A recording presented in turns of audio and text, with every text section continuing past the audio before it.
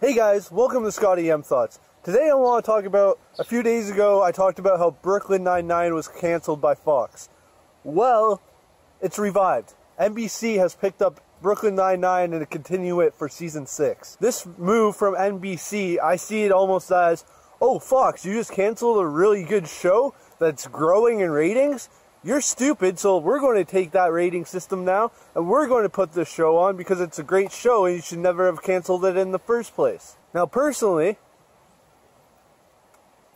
not owning TV or cable, I would like to see Netflix pick up this series and then be released on Netflix so I could watch it, but I have to wait till Netflix actually acquires the show after it's released, which seems to take forever.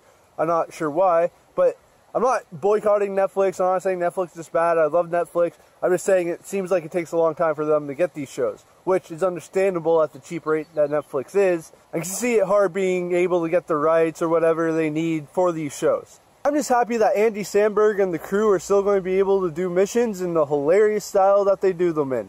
Are you excited as I am? Or do you have any topics you want me to cover or any questions you want me to answer? I'd love to know. Comment below. And if you like this video, hit that like button, share with a friend, and subscribe to my channel for more videos. So, do you want 20% off at Halifornia Apparel? Use this code right here. They have great gear to show off to your friends this summer. I'm Scotty M. Peace out.